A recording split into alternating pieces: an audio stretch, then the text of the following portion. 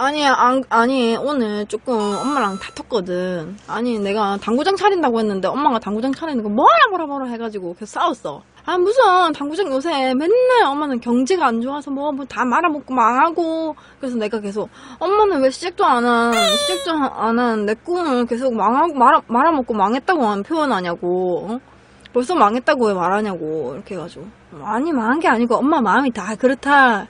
나는 뭔가에 도전하면서 살고 싶단 말이야. 이렇게 하면은. 도전하면서 살, 사는 게 아니고 항상 사람은 평범하게 사는 게 제일 좋다. 근데 그거는 사람 사는 가치가 다른 거잖아. 이러면서 싸운. 음, 그럼요. 쇼핑몰 두 번 말아먹었죠.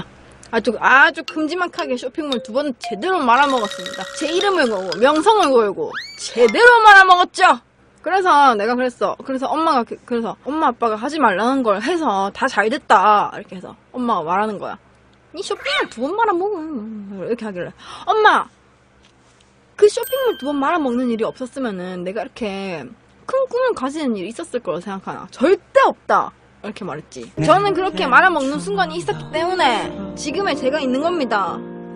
그리고 저는 평범하게 사는 거 내가 지금까지 벌어왔던 돈을 갑자기 잃, 잃어버리는 순간이 있다 한들 빚만 안 진다면은 어 되게 많은 것을 도전해보고 살고 싶습니다. 저는 그렇게 살고 싶어요. 뭔가 편하고 순탄하게 살기 위해서 어 무서운 일들을 무섭다고 생각하고 뭔가에 저지르지 않고 어 평생을 그렇게 살기보다는 좀 조금씩 조금씩 더 도전해보면서 어 뭔가 그렇게 살고 싶어요, 저는. 있잖아. 원래 뭔가 사업을 할 때는 진짜 잘 해내야지? 진짜 잘해야지?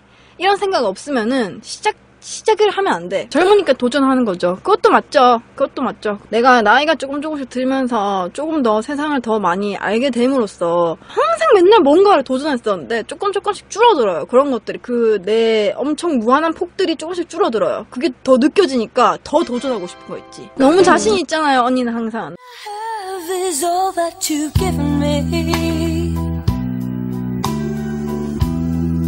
Did you never worry